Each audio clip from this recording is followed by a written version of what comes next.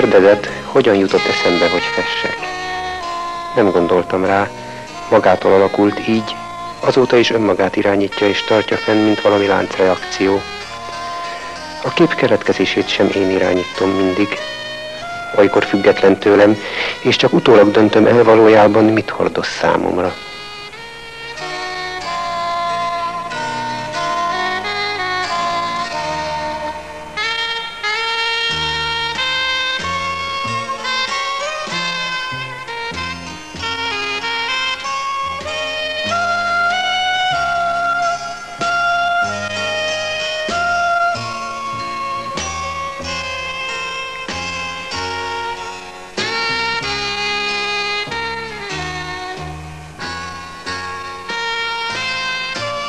Életformám legjellemző vonása a környezet lenyűgöző hatalma és szerepe.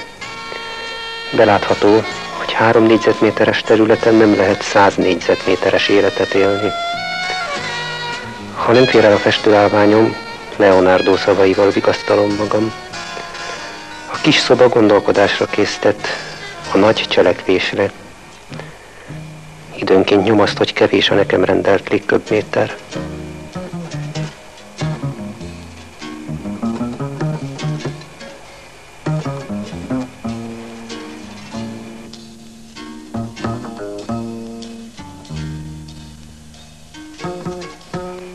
Képek világának ősi, közös jelképrendszerét szeretném megérteni, és továbbfejleszteni egy új jelképrendszerré, amely az újkor mondani valóit hordozza. Vajon beválik -e ez az új jelképrendszer? Nem tudom. Talán ezer évig kellene élnem, hogy lássam e teherpróba eredményét.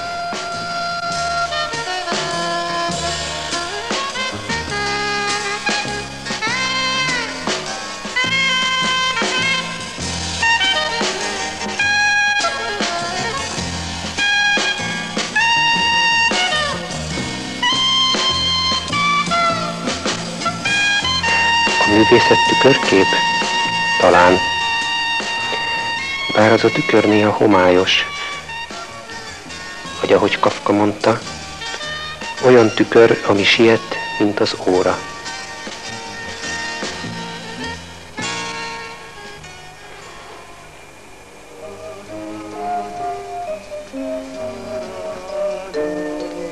A képeknek sorsuk és élettartamuk van.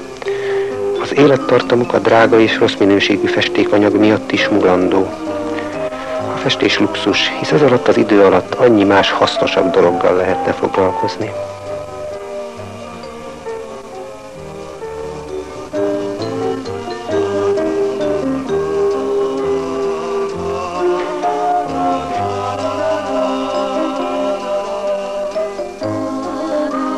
Én mégis ragaszkodom hozzá. Amikor festek, belső parancsot teljesítek. Ennek a hangnak sokkal alázatosabban engedelmeskedem, mint ha úgynevezett hasznos dolgokkal foglalkoznék. Félek. Aki a külső parancsoknak szolgai módon engedelmeskedik, az elnémít magában egy halk belső parancsot. Márpedig ez a hang, ez a hívás, ez a kitartásra is erőt adó, így is mondhatnám hit, vagy inkább szenvedély, a művészet hajtó ereje.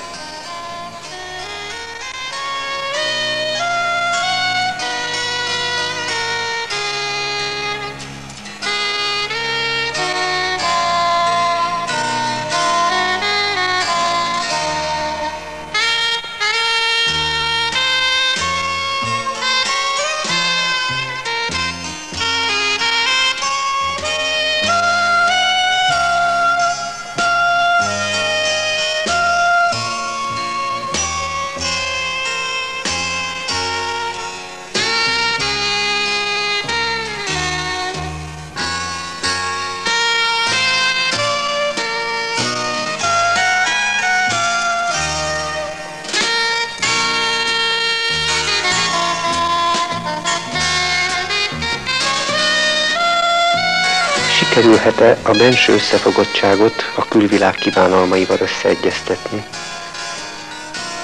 Sikerül, de ára van. Egyetértek Veres Sándor nyilatkozatával a művész polgári foglalkozásának kérdésében. El kell fogadni ezt a jelenséget. Ez a kor tendenciája, vagyis legyen polgári foglalkozásunk. A művész belső világa láttatásával szerez örömet szabad idejében az emberiségnek. A költő verseit ajánlja a falaknak, s úgy írja, hogy neki jól esik. Hogy a festő módon teremtett kapcsolatot a nézőkkel? Például részt vehet tárlaton,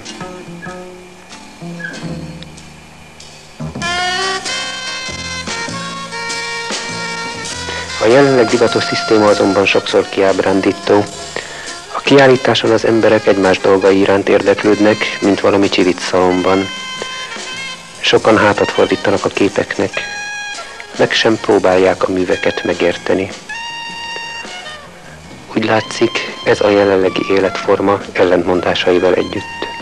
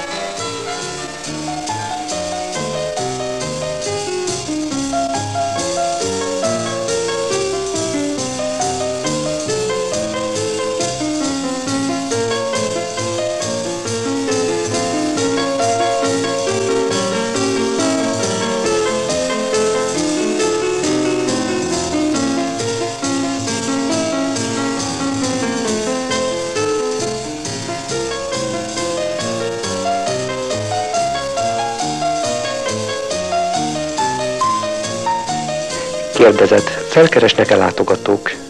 Igen. Ők általában elfogadják a művészetemet, és ez nekem néha kis gyanús. Feltetted a kérdést, gondoltam-e arra, hogy filmet csináljak valaha? Gondoltam.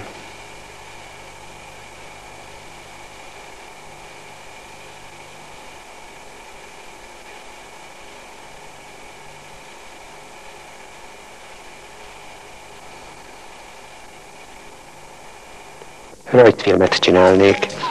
Képeim a mozgás igényével készültek. Ez nem olyan mozgás, amilyen a futuristák vászonra álmodott biciklizője. Figuráimat az én belső törvényem mozgatja. És ha egyszer ezek a figurák megindulnának. Azt kérdezed, ha magamról filmet készítenék, személyem vagy képeim vinnék-e benne a főszerepet? Feltétlenül a szándékomat hordozó képeim.